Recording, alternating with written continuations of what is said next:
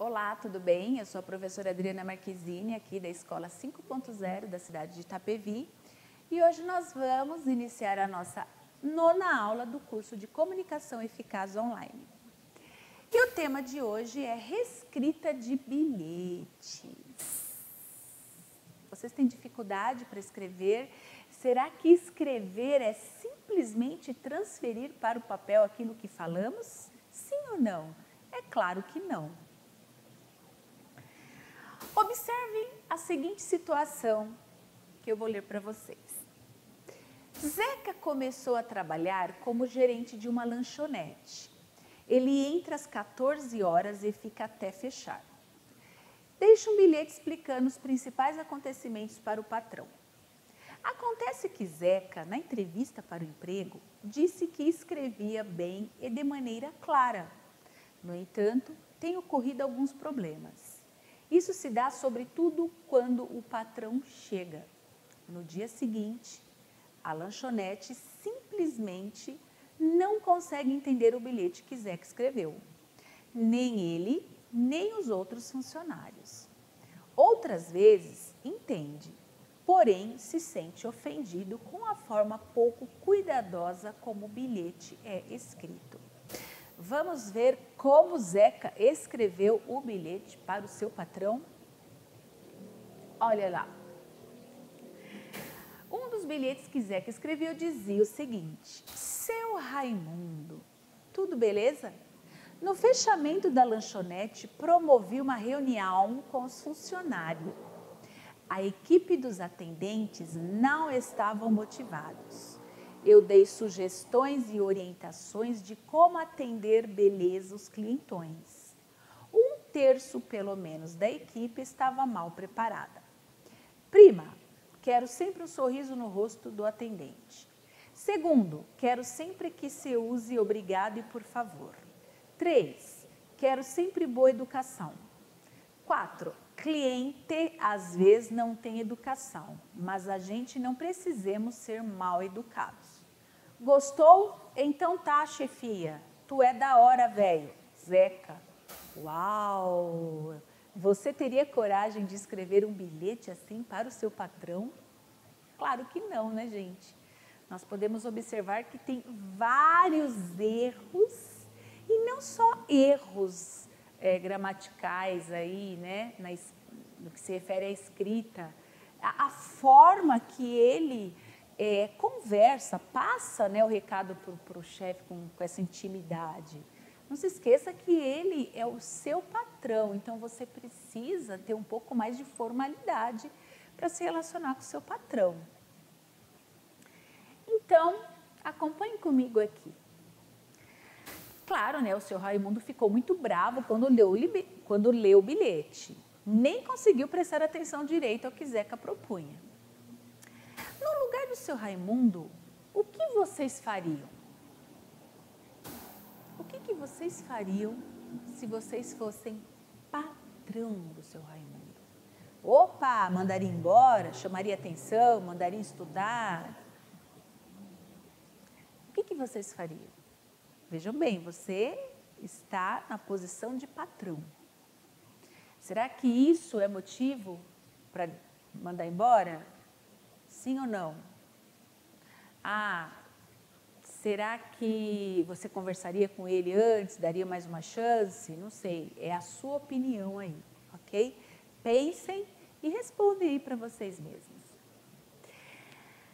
Depois, que problemas apresenta a escrita de Zeca? Vamos voltar lá? No que se refere à escrita, qual é o erro, qual é o problema dele aí? Primeiramente, a escrita. Olhem lá, beleza, reunião com M, funcionário com S, clientões. Aqui ele coloca prima. O que é prima? Primeiro?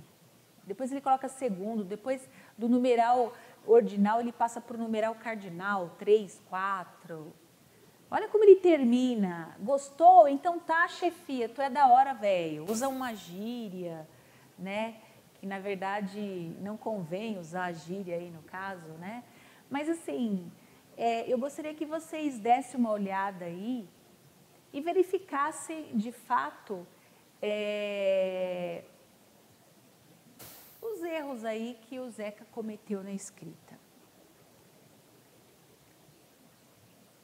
O que vocês vão fazer agora? Vocês vão reescrever o bilhete corrigindo o necessário. Como que vocês vão fazer a correção desse bilhete? Vamos ver a resposta? Veja bem, eu estou passando a resposta para vocês terem uma ideia, mas é importante que vocês façam é, sem é, copiar a resposta, tá? A não ser que vocês realmente não consigam fazer. Olha lá, gente. Senhor Raimundo, não é seu Raimundo, é Senhor Raimundo. Tudo bem? No fechamento da lanchonete, promovi uma reunião onde está em vermelho, é onde foi feita a correção, com os funcionários. A equipe dos atendentes não estavam motivados. Eu dei sugestões e orientações de como atender bem os clientes. Um terço, pelo menos, da equipe estava mal preparada sugeri o seguinte: primeiro, quero sempre um sorriso no rosto do atendente. Segundo, quero sempre que falem obrigado e por favor. Terceiro, quero sempre que tenham educação. Quarto, clientes às vezes não têm educação, mas nós não precisamos ser mal educados. Espero que tenha gostado Zeca. Olha como que ficou bem mais elaborado, bem mais apresentável, correto? Então, pessoal, não dá para comparar esse bilhete com esse bilhete, tá? Então, vocês precisam se conscientizar da importância de estudar a língua portuguesa, de praticar a leitura, de praticar a escrita, para que vocês não cometam esses erros. Aqui, né, a gente fica pensando, o que será que o patrão do senhor Zeca fez com ele? Dependendo da pessoa, a pessoa pega e manda embora. Por quê? Porque lá, se vocês se atentarem, né? Ele diz que aonde está? Vamos ver. Aqui, ó. Disse que escrevia bem de maneira clara. Então, se no processo seletivo ele falou isso dele mesmo, o que, que o, o chefe vai imaginar ao ler uma, um recado desse? Então, oh, o cara mentiu para mim, o cara me enganou. Então, de repente, a pessoa pode até mandar ele embora por conta disso. Mas, de repente, é, a pessoa peça para ele tomar cuidado, peça para ele voltar a estudar, para ele escrever melhor, para ele se atentar a esse detalhe, para que ele possa melhorar a cada dia. Porque se você parar para pensar, ele cometeu erros na escrita, mas ele tomou uma atitude como gerente ele percebeu que os atendentes estavam desmotivados. Ele observou uma série de coisas, ele promoveu uma reunião e ele apresentou ideias maravilhosas. Então a gente tem que parar e analisar, poxa, o problema dele é específico, é escrita. Então será que por conta disso eu vou mandar embora? Por mais que ele tenha falado na entrevista que ele escreve bem, porque às vezes ele acha que escreve bem, né?